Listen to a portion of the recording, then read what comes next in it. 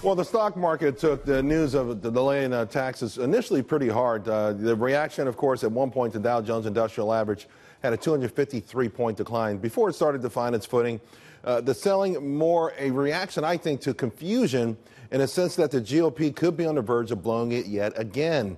I will say that these sort of market reactions to news out of Washington, D.C., not just knee jerk whining, but they also serve as warnings to lawmakers to, hey, get your act together.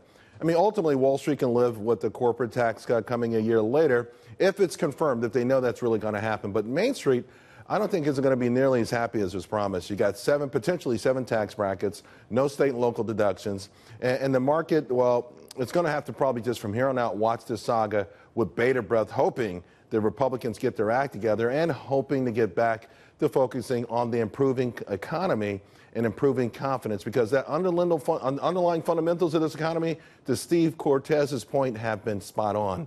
Uh, today's session, swift. A lot of profit taking, by the way, especially with the big time tech names, Alphabet, Google. Uh, also, you had big financials down on pressure as well, like Goldman Sachs. And what was really interesting, a lot of cash uh, flowed into beaten down sectors like retail stocks, brick and mortar stocks, believe it or not. Macy's up big. Uh, they offered uh, pretty reassuring guidance after reporting this morning, but then there was Kohl's.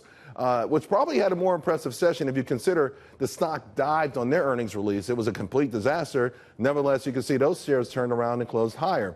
Yesterday, remember, consumer staples led the way. Today, brick and mortar stores. But we know this kind of rotation, while it underscores a challenge for the rally, beyond DC shenanigans, right? So, because this market needs true leadership, and if it's not the big tech names, because they look like they may pause and pull back a little bit, what happens?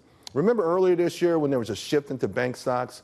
But the problem, of course, is that banks have moved away from their core business a long time ago. We're talking about just lending, and now they live and die by trading activity, which is ridiculous. By the way, another red flag for today's session is breadth. Now, breadth can be measured in a lot of different ways winners to losers, up to down volume, and then there are milestones. On that note, this is the first session that I can remember in a long time where there were more, more 52 week losers than winners.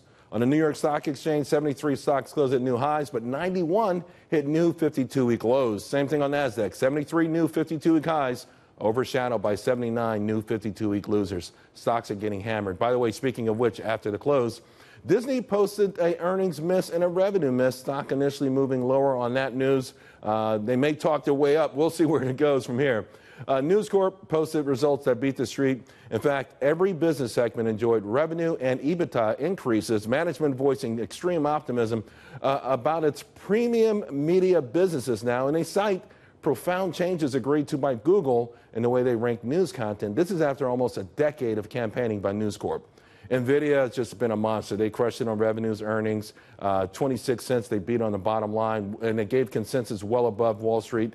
Management really feeling pretty good. Now, the initial move on this stock was lower, but I wouldn't be surprised to see it get higher. And this gets back to the premise about tech. Tech could be facing a period of consolidation and pullbacks. NVIDIA is up 93% for the year. 1,200% since the start of 2014. So these small pullbacks are no big deal. The bottom line is when stocks with improving fundamentals start to pull back, I take notice. Let's not panic, folks. In fact, on the contrary, that's when you start to get your list together. By the way, a lot of you guys went to the site for the Chasing Breakouts report. If you didn't get a chance to get it, now's a good time. Go to wstreet.com for it and don't panic yet.